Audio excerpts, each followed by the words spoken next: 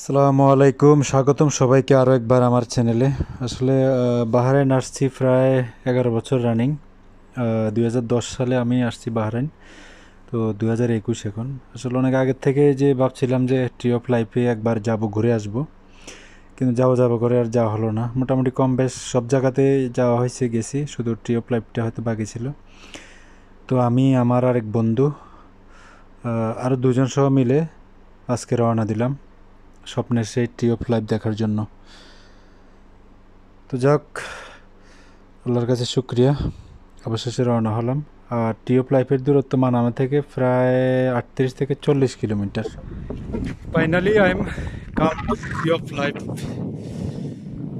thanks thank you so much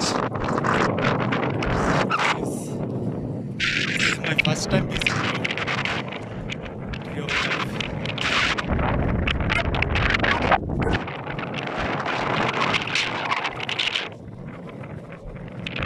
আমরা যতটুকু জানতে চারশো বছর আগের এখানে মরুভূমির মধ্যে পানি নাই কিছু নাই বাবা জানে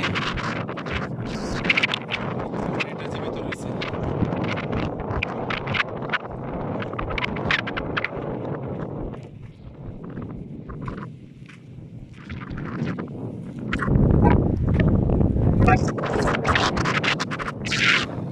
আর আমরা আসছি প্রায় এগারোটা বাজে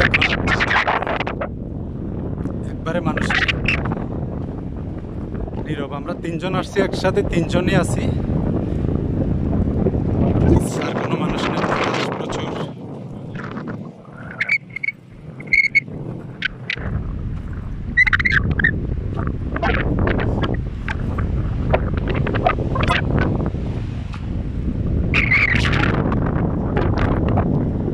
এটাই tree of life of Bahrain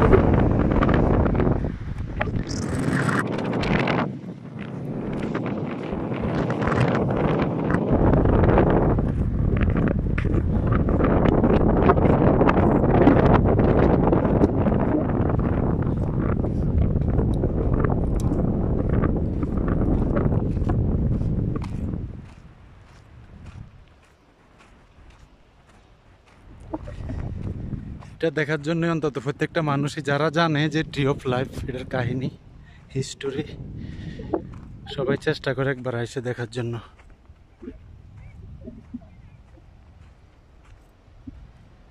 আর এটা হলো বাইরের অবস্থা এরকম, মরুভূমি। বাইরের অবস্থাটা এরকম, বিশাল মরুভূমি, অপূর্ব সুন্দর দৃশ্য চারদিকে। আমার এটা ফার্স্ট টাইম সফর। দশ বছর লাইফে আসলে অনেক আগের থেকে স্বপ্ন ছিল যে একবার আসমো ট্রি অফ লাইফে তো আজ আসলাম, আল্লাহর কাছে লক্ষ লক্ষ শুক্রিয়া। যে অন্তত ট্রি অফ লাইফটা দেখার সুযোগ হয়েছে সেই গাছ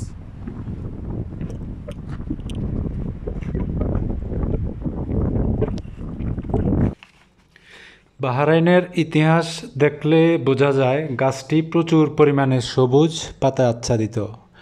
বয়সের কারণে এবং এই অঞ্চলে এটি একমাত্র বড় গাছ হওয়ায় গাছটি স্থানীয় পর্যটকদের জন্য আকর্ষণীয় এবং প্রতি বছর প্রায় এখানে পঁয়ষট্টি হাজার মানুষ ঘুরতে আসেন।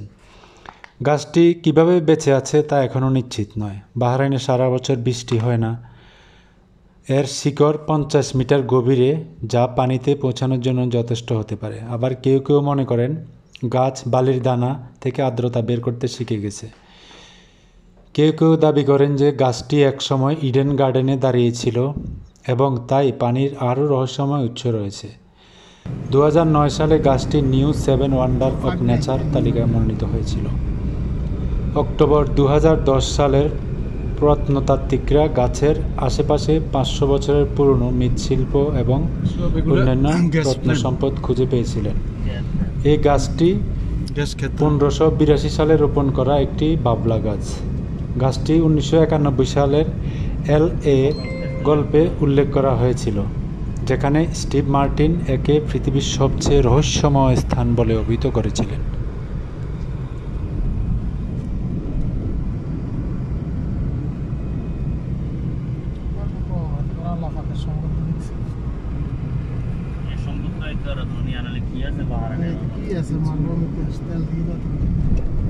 হ্যাঁ, কাতারের মতো একটা দেশ কাতারের মতো কি আছে? দেখেছে কত রাজের ফাইভে দেখছেন?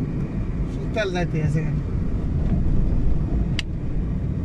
সব তেল মাটিতে পয়সা নেই ফাইভে গোল মাটির তেল ঢুকে রেখেছে। বিক্রি করে না বিদেশে?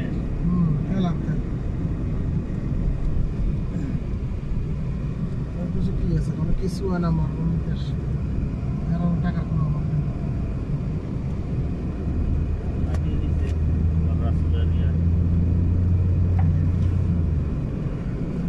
বিশাল প্রজেক্ট বিশাল। এটির মধ্যে কোনো বাড়ি করব বর্তমান।